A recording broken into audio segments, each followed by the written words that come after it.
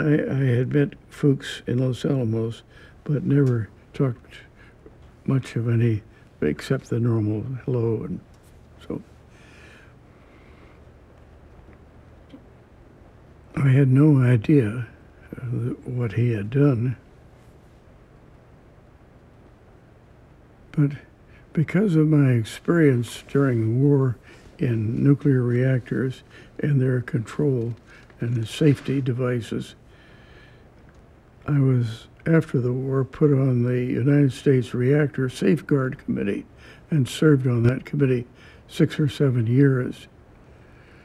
And at one point, we met with the British group to compare notes.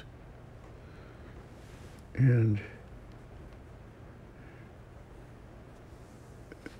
we had reached similar assessments on how big the damage could be if a reactor got out of control and the radioactivity was carried downwind by the air, such as a Chernobyl accident happened in Russia. And we in the American group had decided to put domes over reactors. Uh, Teller and Feynman and I on the Reactor Safeguard Committee had advocated that method of protection. So that today that's the symbol of a reactor in this country, the dome. But what the Russians did not have at Chernobyl. But in comparing with a British group, the uh, damage that would result, we found that the meteorologists who study wind conditions agreed. We came out with similar predictions. Well, if the catastrophe could be so great, what was the chance of the catastrophe? And I had looked into these probabilities, and I thought the greatest chance was the chance of sabotage. I had collected the statistics on sabotage in World War I in World War II, many more in World War I, when there was much more sympathy for the German side than in World War II.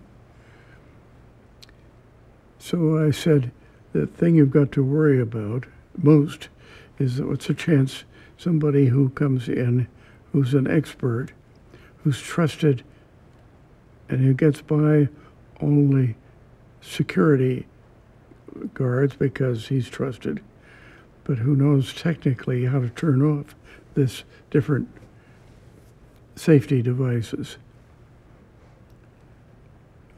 Somebody animated by some strange ideology.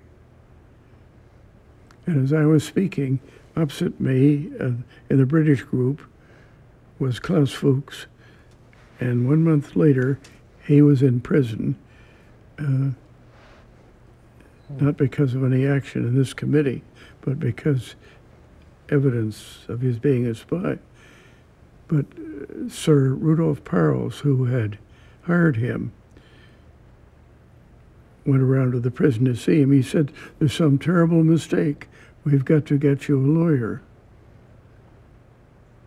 And Fuchs said, No, it's not a mistake. You mean you were a spy? Yes, but how could you? Well, I meant to give control of the world to the Russians. But how could you? Well, then I meant to tell them what was wrong with them. Well, that was Fuchs.